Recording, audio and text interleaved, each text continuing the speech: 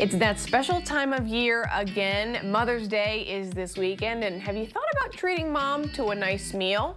Does she like seafood? If she does, Joe White is your guy. Joe White at the Shrimp Boat in Ocean City. How you doing, Joe?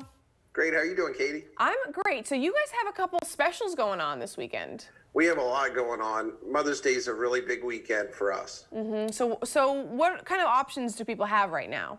Well, first off, I mean, we, we're doing delivery mm-hmm. from Salisbury to Ocean City, Snow Hill, all the way up to Selbyville, Delaware.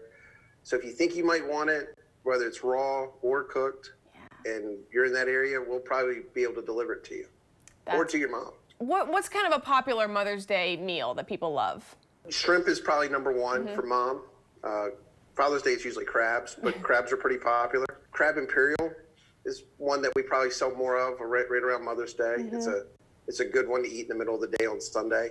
So if people were thinking about doing this, doing the delivery, how, how early do they need to call and, and get it all set up with you?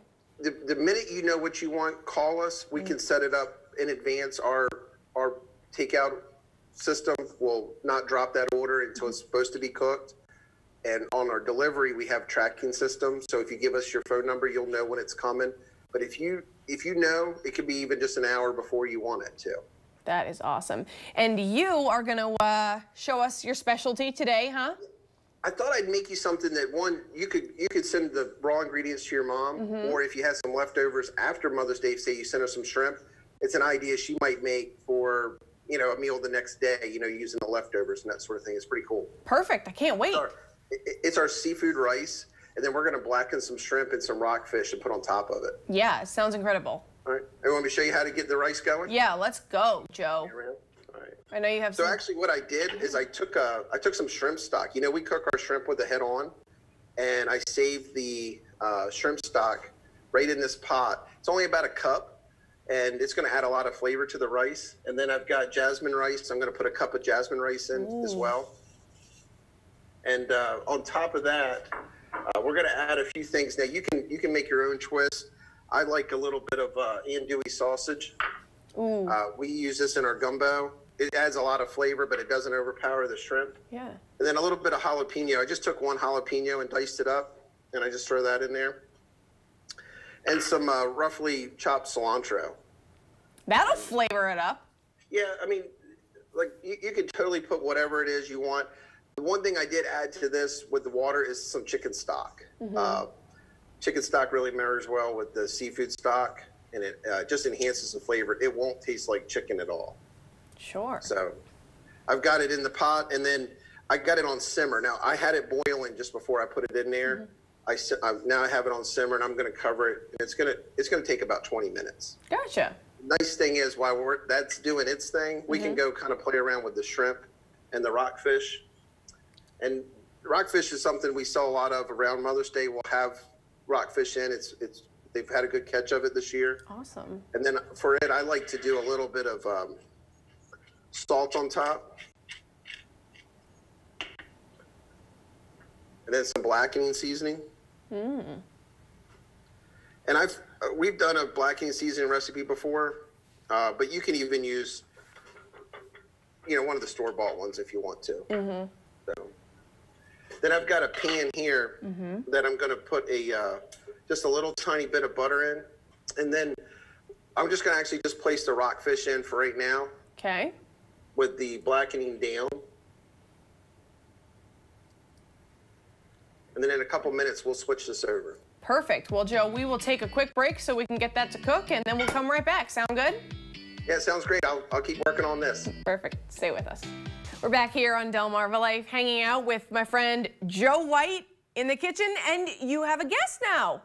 Oh, yeah, Li- my daughter Lily joined me. Hi, Lily. Hi. How old are you? Eight. You are eight years old. Did you know that Mother's Day is this weekend? Yes. And do you know what you're getting your mom? I'm making her a Geo picture. Ooh, that sounds nice. And tell me, Lily, what makes your mom special?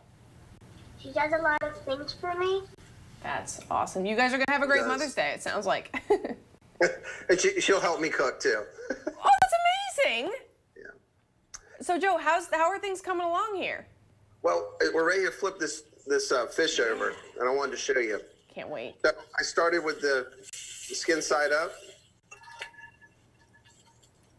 Nice. right?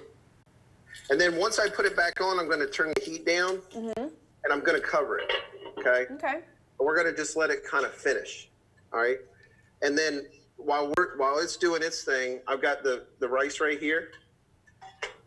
And the well, before I show you that, I'm going to stir the one we just started, and you're going to see it's going to just take a little while, but all that's going to cook down. Yeah. When it does, this is what it looks like. Wow. Yep. So I'm gonna just grab a little bit of that, and we're gonna make a little little pile right in the middle of the plate.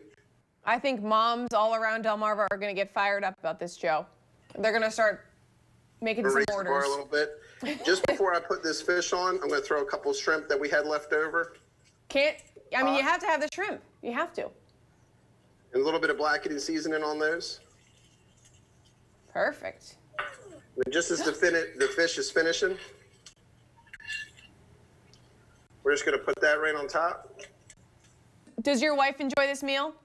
You know, it's it, she's not a big seafood eater. uh, but you know that's an interesting. It, it's very interesting because she's not. All of our non-seafood stuff on our menu, whether it's a chicken, we bring in fresh chicken or ground beef or steak. It's uh, it's made for the person in the family who's not a big seafood eater. You guys cater to everybody. but I'm I'm more than make up for her. That's the thing. Well, uh, and then th- this is the this is the finished product. I, I mean, I did it ear corn. yeah. It's that time of year where maybe you're craving that, and uh, some fi- some shrimp and some some of the fish and the rice. Oh my gosh. Joe, um, you're going to need to deliver that to the station. I can definitely deliver. You're definitely in our area. That's awesome. Joe, thank you so much for spending time with us today, and I hope you get tons of business this coming weekend for the Mother's Day weekend. Thank you very much. The, the support we've been getting from our customers in the whole area has been tremendous, and uh, we're really looking forward to having a very successful Mother's Day weekend. Yeah, happy Mother's Day to you and your family. You too.